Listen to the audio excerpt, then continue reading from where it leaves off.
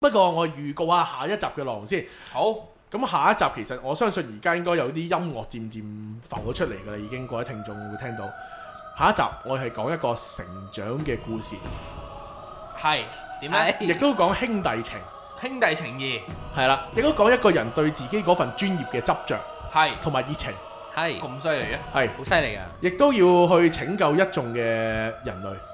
拯救人類咁誇張啊！好，咁而家聽佢只歌先啦。